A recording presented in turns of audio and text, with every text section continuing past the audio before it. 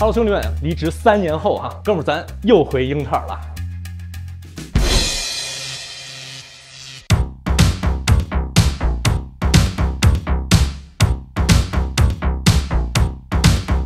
开个玩笑啊，我其实并不是回英特尔上班了，而是来看一下他们全新出炉的英特尔 GTC 科技体验中心。据说啊，有上千平米，投入那是老大了。之前啊，我还去加州总部看过英特尔的科技博物馆，那么我也非常好奇，这个体验中心和加州的那个博物馆啊，到底有哪些区别？到底有哪些黑科技？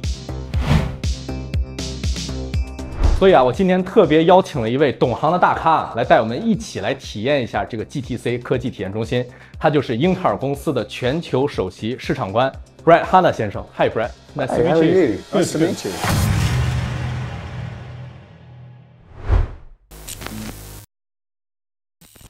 It's a great pleasure to have you to join this journey. Yeah. And uh, let's uh, explore this center.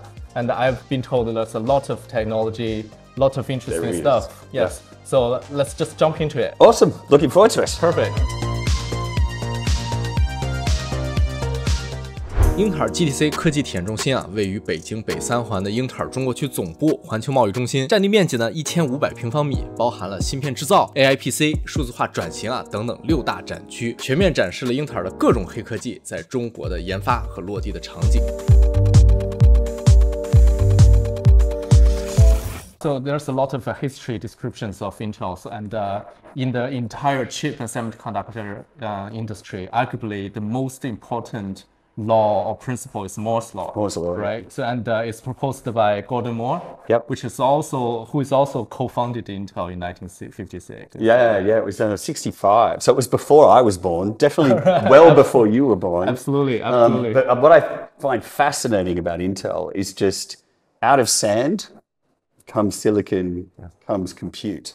Um, and if we look at here, I mean, basically, we've got the history of Intel and all of the innovations that have come over time. So it starts well before I was yeah. born, Yeah. but then it gets into more complex compute with the 4004. Um, if we start walking around here, then we start to see things that maybe some people are familiar with, Yes. such as the 80286. Oh, yes. Yeah. Do you remember that? Yes, or are you too young? Yeah, I'm probably too. I wasn't born in 82. there you go. See, I bought my first 802. Is that right? Yeah, yeah. And it was way. it was as expensive as a car. right, I see. Right? You, cho- you chose whether you're going to buy a computer Yes. or you're going to buy a car. Right. And it's just changed so much. I mean, really, I think that's the power of Intel is that we enabled compute to go to everyone. Okay. All right.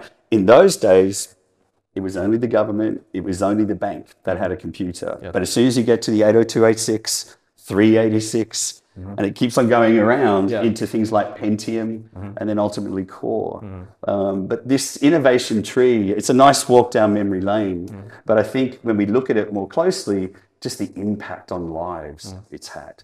Uh, and I remember in oh, 2000, 2005, it, we launched Wi-Fi, all right, with the industry. And so it was going from PCs into laptops and then connected devices everywhere. So it's a fascinating walk through history. It Awesome. really is. Yeah, awesome Yeah. 除了英特尔的发展历史呢，体验中心里啊还特别展示了英特尔在中国的发展历史。 It, it surprises me, like Intel's been in China for for a long time, right? So Yeah. in 1985. Yes. Is there anything like interesting stories about Intel's success, like in China? Oh, absolutely. And it's on so many levels. I, I think not only did we, you know, lean in with the government and, and really understand the local market and how we can work together as China, as Intel, um, to start to build the computer infrastructure here as opposed to everything being brought in from outside. Um, it was really, really quite fascinating. So, you know, in 2003, you know, our first factory started construction here. So it wasn't, you know, silicon being imported, it's silicon being manufactured here. Um, and what I'm really, really fascinated by is just how we stretched it into influencing Asia Pacific. All right. So rather than just ideas coming in, ideas started to go out. And just the relationship between Intel and China is on so many, many levels. What I love seeing is that all of that talent locally mm. working together to further China's cause, mm. right? Really modern technology, new platforms, new use cases. It's just fascinating to be a part of. Right. Yeah. Absolutely. So Yeah. speaking of technology, one of the hottest trending topic is actually AI. It is. Right, worldwide and certainly in China. Yeah. Right. So, what's your vision, or what's Intel's vision on the importance of AI currently, and um, uh, what's the Intel's strategy for you know any applications like PC uh, using AI to in that kind of market area? Yeah, so it, it's, it really is on every facet. And what I love about AI, it's promising a lot, but I think now everyone is going, well, exactly what is it promising? All right, how does it affect me as a person? How does that affect you as a business, sort of thing? Um, and what we're really seeing now is we finally start to see the good ideas around AI um, rather than just the letters A and I. Um, and that's what really we've been working with the ecosystem locally uh, to enable. Uh, and whether it's in healthcare, whether it's on your local PC, whether it's embedded in robots. I mean, there are so many different aspects of what AI could do. Hmm.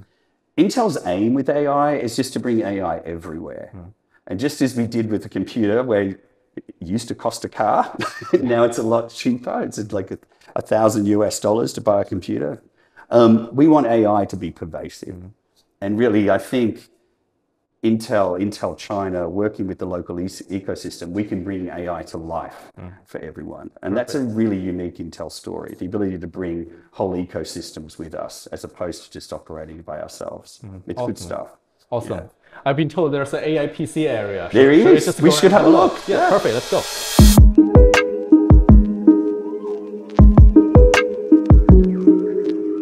既然来到了 AI PC 的展示区啊，那咱们肯定要好好的体验一波，看看这些基于英特尔酷睿 Ultra 的 AI PC 到底进化到了什么程度了。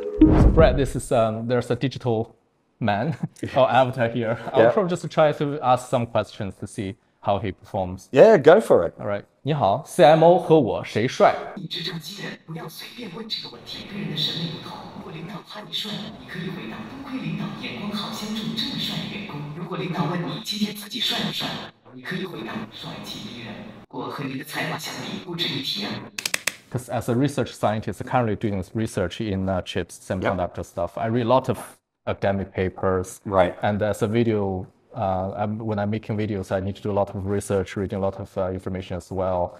Uh, sometimes I really hope there's an AI to help me to summarize all Summarize all that stuff. Exactly. so Yeah, I've yeah. got dozens of materials. I just want to do it. So this is a very large uh, document, uh, which is the AIPC white paper. Right. Uh, so it's very long, uh, very big uh, stuff. Uh, so let's just drop it into this model. Yep. I've got some prompts here, so let's just saying like summarizing this document for Absolutely. me. Yeah. So I'm just uh, yeah, so it's really fast. The thing like this document talking about the development of AI PC, how it's going to, you know, what's the uh, technologies and and uh, how is it being used in helping people to be more efficient. I love so it. very long, very long, uh, very big white paper on this. And what's the beauty of it? I think there's still some uh, generation generated prompts automatically from this document. Oh, wow. Yeah, something like what's the advantage of AI PC? You just select it, just submit, right? So it just tell you what's the Distill the actual data. just- yeah. Yeah. And I think the beauty of it is everything running locally. I don't have to get access to the internet. Yeah. You know, I don't have to, you know, doing all that kind of stuff. It's just the running locally on my machine. I can do it whatever I can. Um, so yeah, so it's a quite a quite useful. Like it summarize all the advantages. So I can probably make a video about AI PC then. right. Well, I think uh, what, what's really powerful about this is it, all the focus on GenAI has been on things like ChatGPT and, and similar things. Yeah. But that's just the World Wide Web. It's not what you've got stored, like your documents and what you're downloading. So now you've got your own large language model on your stuff, uh, which is really, really powerful. Yeah. And it's, a, sec- it's, it's even secure as well. Very secure because it's not up in the cloud. It's it's what you own. It's your life, whatever it is, Yeah. and you're able to query it the same way that we can query the internet Yeah. with ChatGPT, etc. So it's really, really good stuff. 我呢，其实平时啊用 AI 画图比较多，因为啊做视频、写公众号经常需要大量的图片。 但是呢，一方面找图比较麻烦，另一方面呢，可能还会有版权的风险。但是啊，用 AI 画图就没这些问题了。绘视啊，是我常用的一个基于 Stable Diffusion 的 AI 作图工具，强烈推荐大家试试。那这里呢，我们看到它已经能够很好的适配运行在这个 AI PC 上 So。you could change. I'll probably get some prompts to change my haircut. You're like cyberpunk. Uh, You you do look like one. There you go. Oh yes, it looks perfect.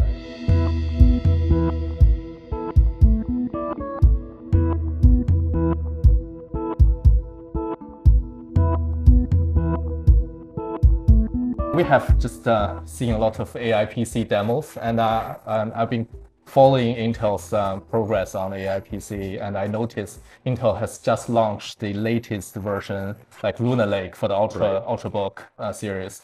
Anything like you can share with us, like uh, what's the benefits, what's the advantages of Lunar Lake, anything? Absolutely. So when we launched uh, Core Ultra, so when we did that late in 2023, it really brought the AI PC to the world. Uh, and what we've seen over this year is literally millions of people buying uh, these Core Ultra laptops that are AI enabled. What Lunar Lake is, a Meteor Lake was our first gen, if you like, and what our second gen or next gen AI PC allows us to do is to do a lot more, do it a lot faster. Um, but at the same time, what we've done is worked with the ecosystem and enabled, you know, 300 ISVs globally to bring new experiences.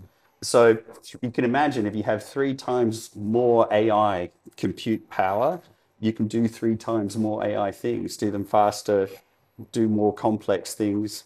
Um, the other thing we've been focusing on is power consumption. So with the local you know, OEMs and the local hardware manufacturers, you get beautiful devices. They're thinner. You can work for literally days, um, and just you know, battery life is certainly a lot better. So, better power, faster, designed for AI, um, and really is just bringing a whole new world of experiences to people. So we're really excited by it. All right, it's coming out later this year. Thank you very much, Brad, Not a problem. for your time for today, showing Yeah. us, like joining us around this tour. It's a very great, uh, it's a great um, a place. Yeah. They're showing a lot of Intel. Oh, look, I just appreciate all your interest in it. Yeah, Yeah. So look, honestly, we've got so much coming up this year. So we'll we'll definitely be talking again when you see some, new things come out. Okay, thank But I love talking to you today. Okay, thank you Thank so you. much. Thank you. Thank you.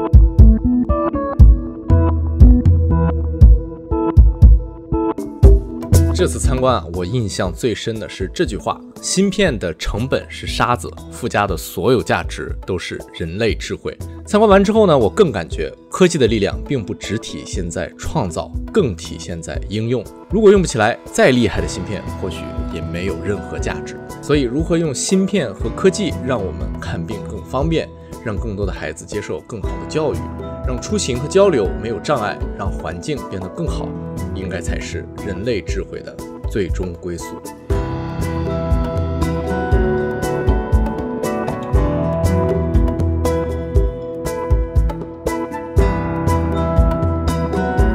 好了，以上就是本期视频的全部内容。有用请点赞，喜欢请关注。我是老石，我们下期视频再见。